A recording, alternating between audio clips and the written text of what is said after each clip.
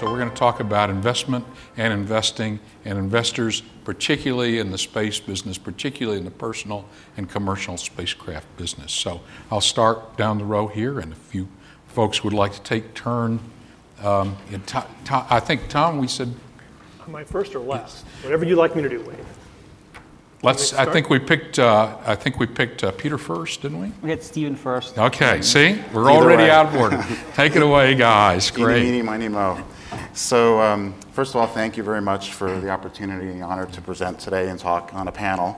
Um, I would also be biased and say I wish we were first, but then that would make me very sleepless because a lot of people would be talking to us about uh, how to get this going. But that's the intention of this show, correct?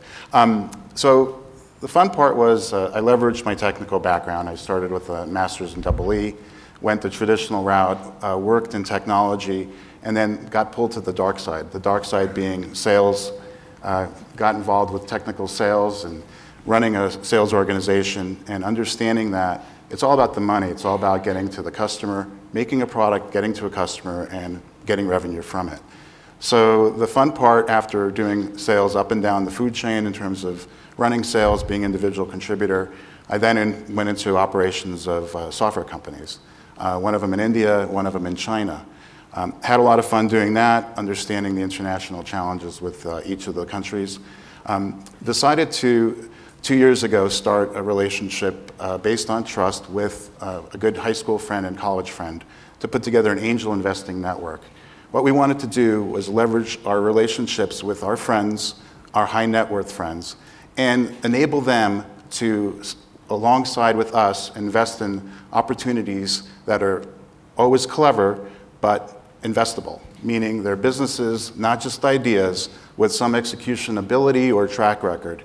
Um, we went along and did pretty much, um, I'd say about a half a dozen deals or so in all types of markets, and then came along an opportunity to look at new space. Um, it's it's a long story, but the short version of it, my future stepdaughter uh, is aspiring to be an astrophysicist, and as a result, I got introduced through my personal connections, introducing her to NASA. Long story short, we put an MOU together with CASIS and really are enjoying our relationship with CASIS. And for those of you that don't know, CASIS basically um, manages the uh, national lab, if I'm saying that right, uh, on the space station.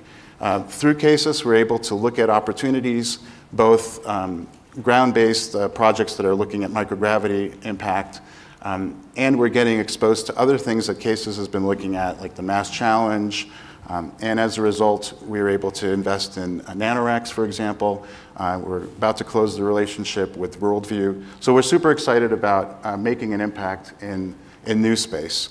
Um, and I think we'll probably talk about more about what we invest in and why, right? Thank you, Stephan. Peter? Yeah, um, as you mentioned, Wayne, already, I'm a, I'm a high energy and fusion physicist with a, with a big interest uh, in space. Unfortunately, commercial space uh, didn't really exist when I, when I graduated. And so I, uh, I followed my business interest first with some consulting and, and, and an MBA and some uh, um, investment management before uh, realizing that there is a dramatic shift and a dramatic change happening in the space industry. Um, that there are on one hand, uh, people in their 30s that have already made their mark, not only in creating businesses that are some of which are the largest in the world, but also have more money than God and wanting to figure out how they can really move mankind forward. Um, and people like you know uh, Elon Musk and uh, uh, Jeff Bezos and, and Paul Allen um, reached literally for the stars. Um, and that is like the first factor that I think changed when I decided to leave investment management and, uh, and start a space company. I think the second factor that is happening is that the, uh, our governments uh, all across the world, maybe with the exception of China, are running low on cash last time I checked. Um, and so more and more of the uh, traditional burden in, in space exploration has been shouldered by the governments, aka the, the taxpayer. And I think we are seeing now a situation where that purse is getting tighter and tighter, um, which creates opportunities for the private sector, where instead of the government operating large and costly assets, the private sector is taking that over and offering competitive services to the government. Uh, I think you know the, the first and most foremost example there would be SpaceX, where instead of uh, operating and owning the space shuttle, um, the government can now purchase from SpaceX uh, a far more affordable service and actually only pays if it performs well. Right? The space shuttle was a cost independent of its performance. Um, SpaceX is a, is a supplier, and you only have to pay if it actually works.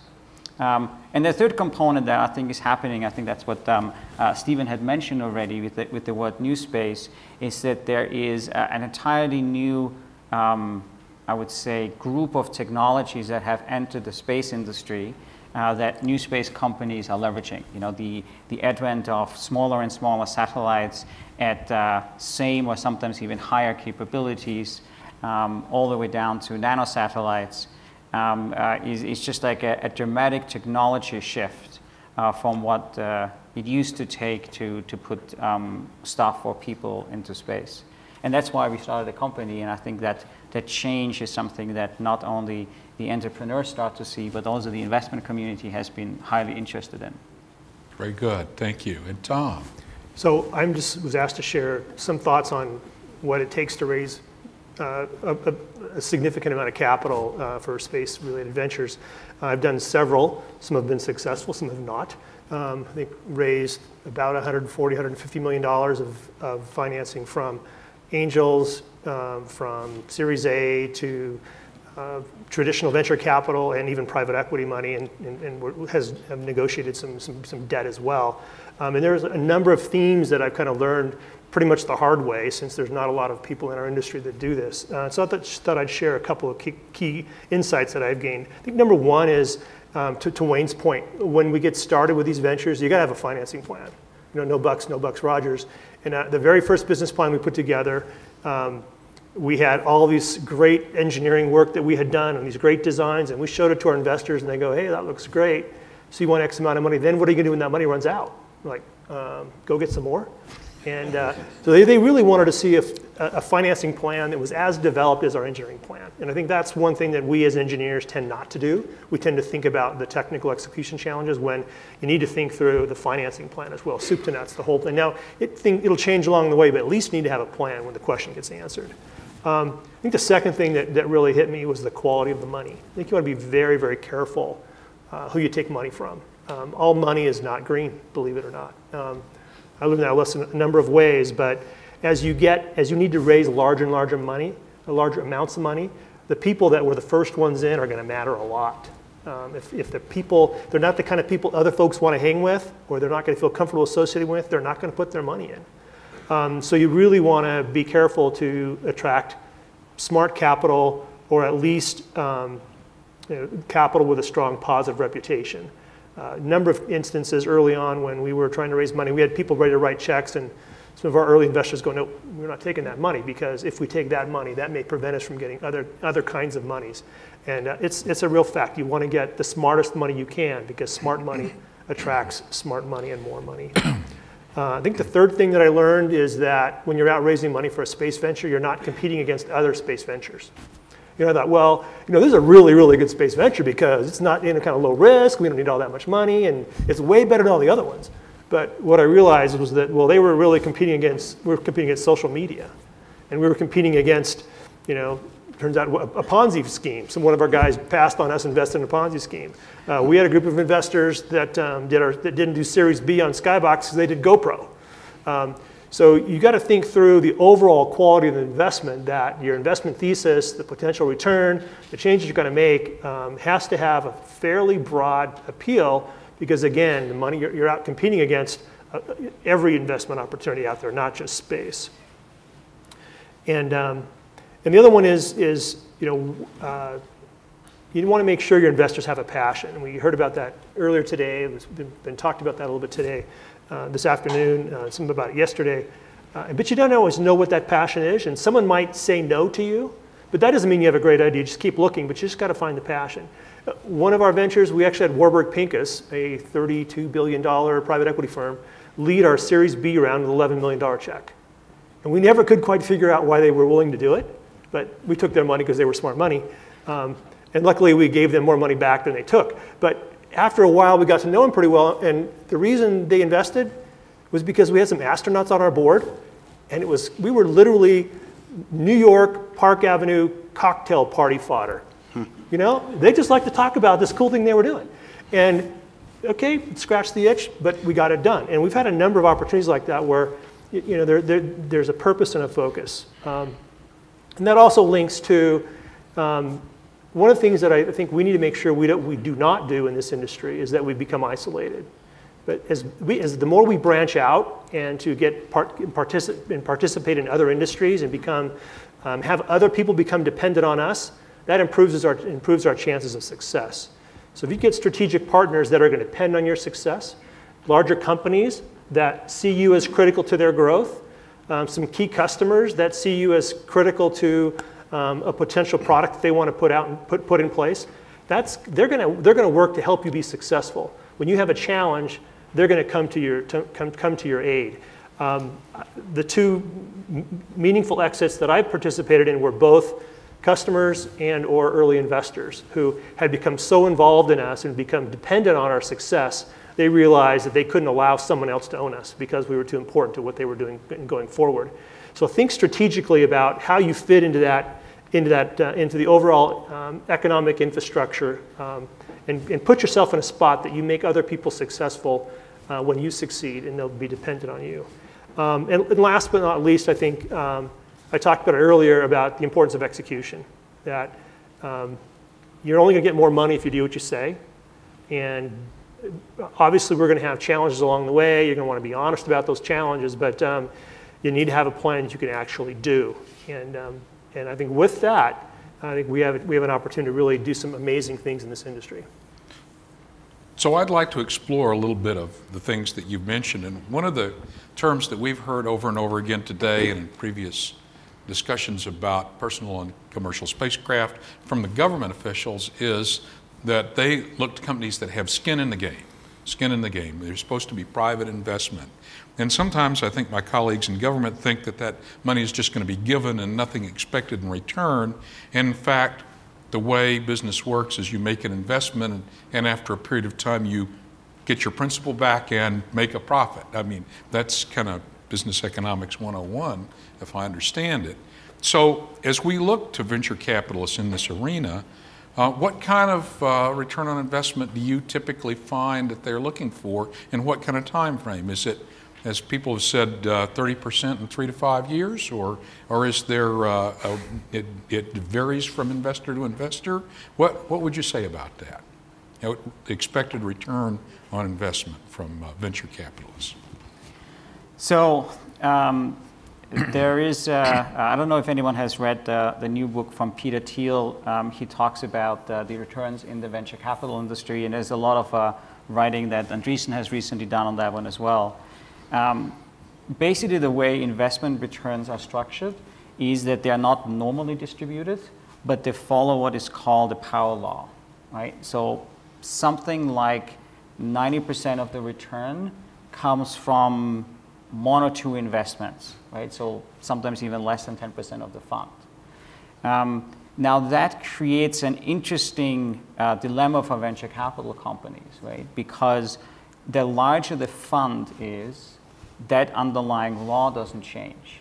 But if the fund is $20 million, they can invest in things that return $20 million.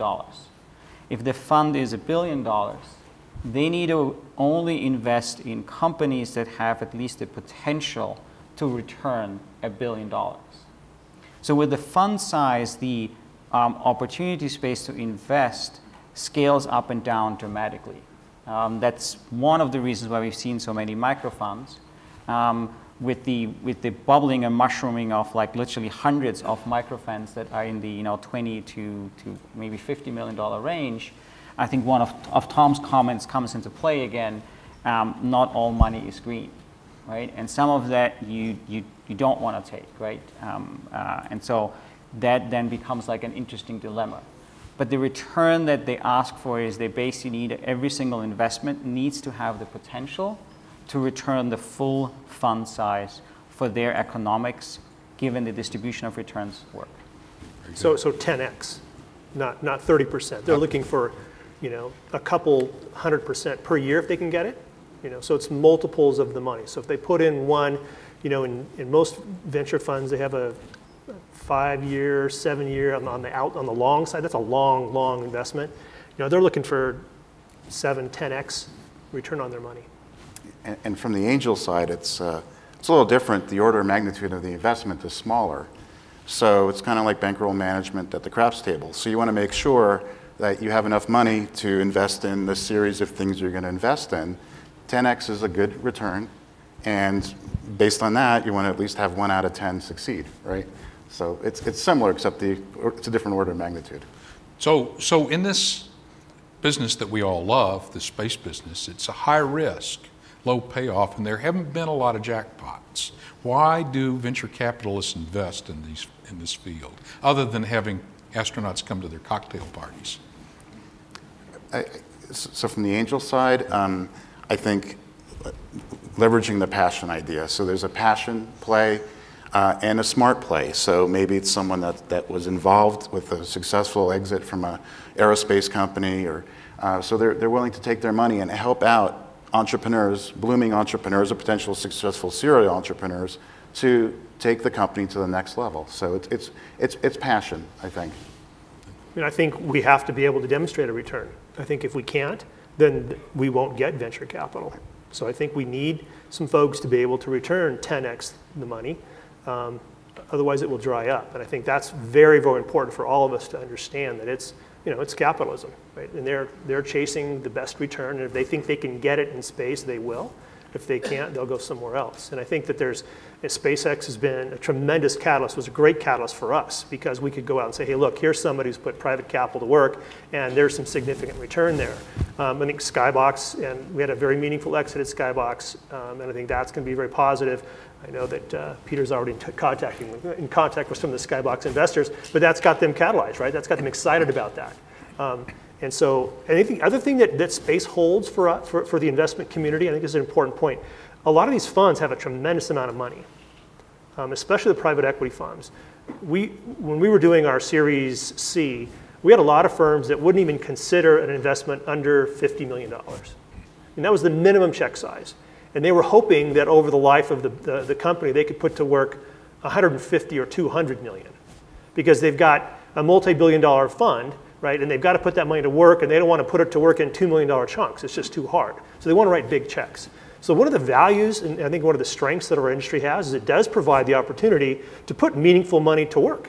And, and if you have a plan that is, and you're executing along that plan, um, the fact that you're going to need, you know, a $50 million check and then a $100 million check is a real positive. I can tell you that we were negotiating with a number of investors in, in, in concert with our Google discussions because uh, we needed several hundred million dollars more. And that was a really good thing. And they were all excited about being able to put a lot more money to work. Yeah, in the, in the investment management world, um, uh, we used to say, uh, beware of driving with your view in the rear view mirror. Um, and I think your comment about, oh, you know, space, you know, um, no one has made any money in space, and the old joke, you know, how do you make, you know, uh, a million dollar in space is, you know, you start with a billion dollar and, and work your way downwards.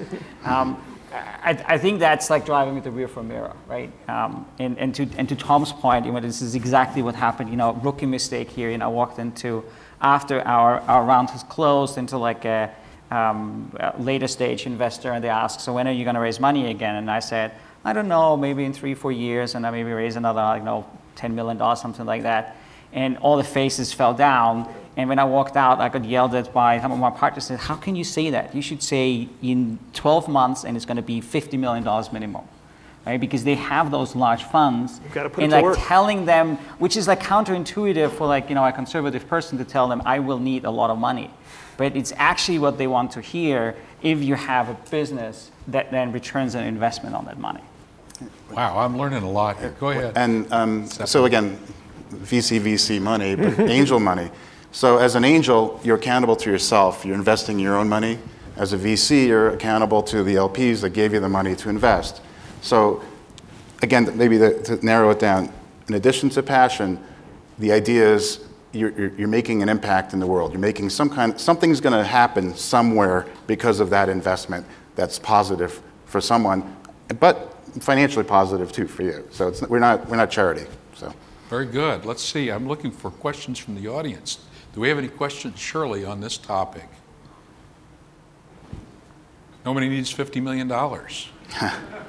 Okay. Well, let me, uh, let me uh, if, if you have a question, write it down and the, and the folks will bring it up here to me. But let me, let me follow up with uh, one more. We, we've talked quite a lot about private public partnerships and government involvement, and there seems to be a trend away from investing in um, programs or companies that are heavily involved with the government, kind of a divorce from that. Do you see that trend going on and the venture capitalists want to invest in companies that are uh, perhaps less involved with government programs?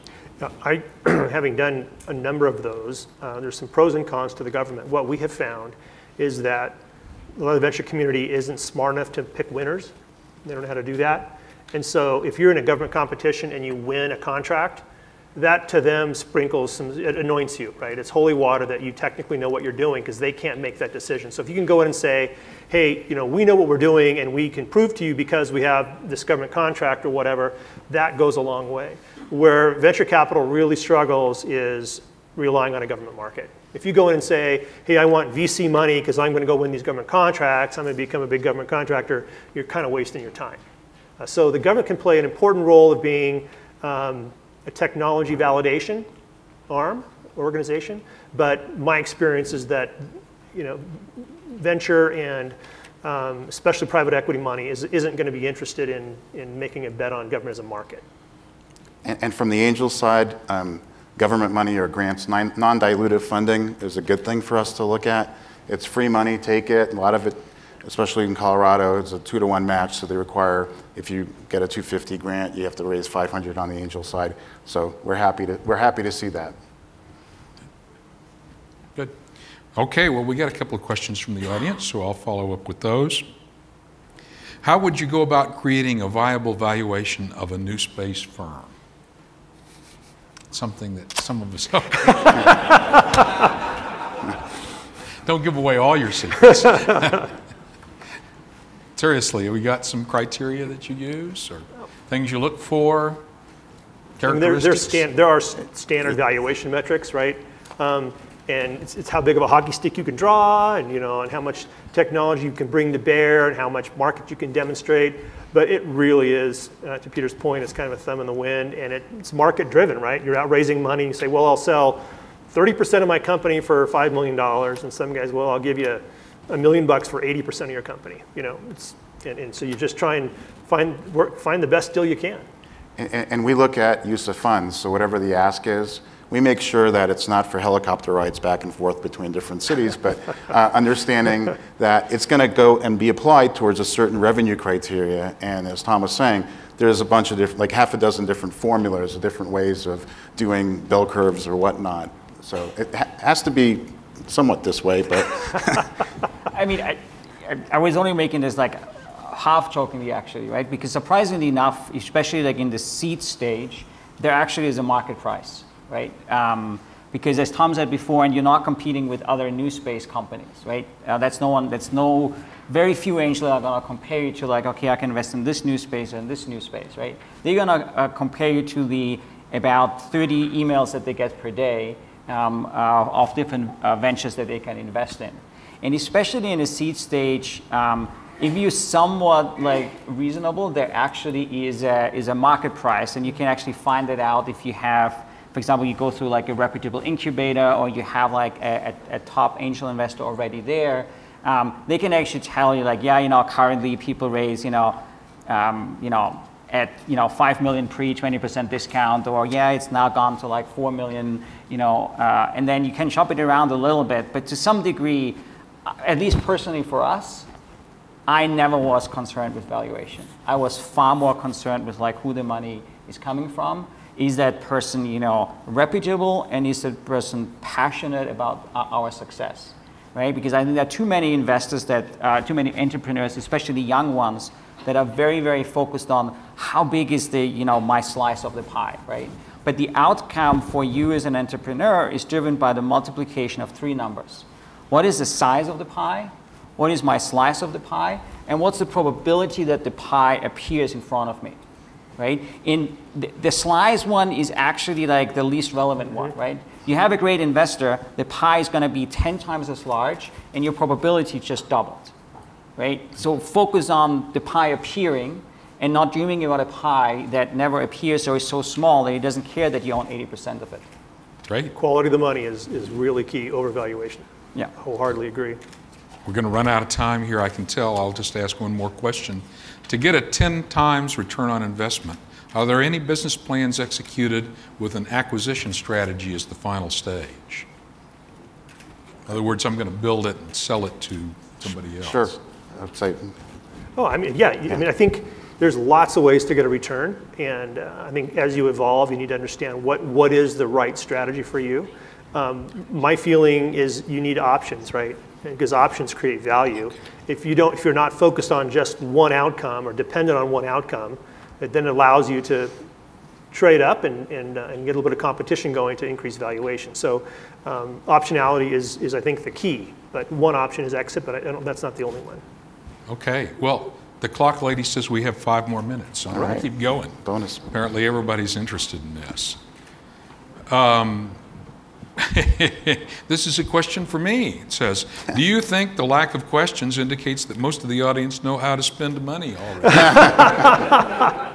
and and I, I would say that I, I believe this audience knows how to spend money. The question is, how do you raise money? And I think that's what we're up here talking about. I, I, uh, okay, I got that one. Um, how do you see investments in space medicine and space health technologies evolving? Is that something that you've heard about or looks promising? Absolutely, life sciences and, and being based in Colorado too. Life sciences is pretty key, a, a key hot and happening opportunity for investors and, and seed stage investors. So yes, I, I vote yes on that one. Um, I've uh, not done any investing there myself, but what I have seen is actually both ways. So I have seen people that have taken space technology um, where the design criteria of having to do something with very low power, with very, very little interaction from the astronauts because they are like, you know, very, very tight schedules, created the technology that um, I think that particular case is, is around uh, sequencing um, uh, proteins basically allows to bring that back from space on Earth and then apply it on Earth in like a huge billion dollar industry. Very good. Very good. Okay, there used to be a problem of investors doing due diligence by asking NASA about the technical feasibility. We talked about getting a government award, but this is NASA doing a technical feasibility. But with the associated conflict of interest, does this still happen or are we beyond this conflict of interest stage?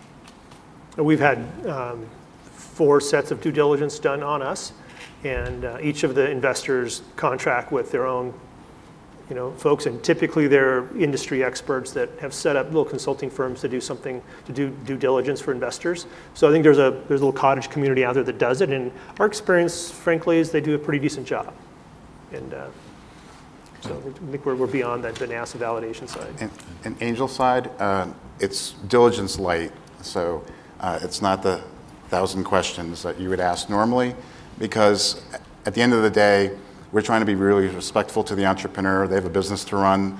Uh, if they're sitting there answering a billion questions from everybody they ask money for, they'll never be able to. They'll, they'll lose their energy to, to run the company. So that's the our angel perspective. I find it interesting that um, it is coined as conflict of interest with NASA, right? Um, at least for us, that has not been my experience. Um, uh, I think there's plenty of incredibly passionate people. You know, Pete Worden from NASA Ames comes to mind, um, uh, but also from the other centers, right? So I'm, I'm, uh, I'm always getting like a little bit um, anxious when people phrase it as like, you know, either or, you know, old space or new space or, you know, government or new space. I think it is significantly more and, and rather than actually a conflict of interest. I don't know. Yeah, no, I, I agree. I agree. Well, looking up here, it seems like we need the investors on fly removal. you know, there is an, a laser sapper. they, have, they have built that. There you go, high tech. Yeah. Um, this is, uh, I think, really been a very interesting and great discussion. Uh, I know uh, Ariane's going to tell us that we're going to go on a break. Don't leave yet, but we'll be able to take some more questions out in the portico if you're if you're interested. I would just leave you with the thought uh, as we go out. Uh, you know, I'm an engineer and I love space and rockets and airplanes and, and making smoke and all this stuff. Um, and uh, I grew up reading AvWeek magazine. I guess I can talk about them because they're not here. And lately, I, I've noticed that in AvWeek magazine, all the letters to the editor are, why, why do you quit writing about airplanes and all you're writing about is the business and the money and the investments and the, and, and, uh, and I think that's a sign of a maturing industry. Um, because as we look forward to doing perhaps great things in space and, and flying millions of people or whatever we're going to do, um, someday it's going to be a business, and uh, and uh, the engineer in you may not be quite as excited about it, but that is the way it needs to go, and it all starts with investment and making a profit. So thank you, thank you very much. Thank you. Thank you.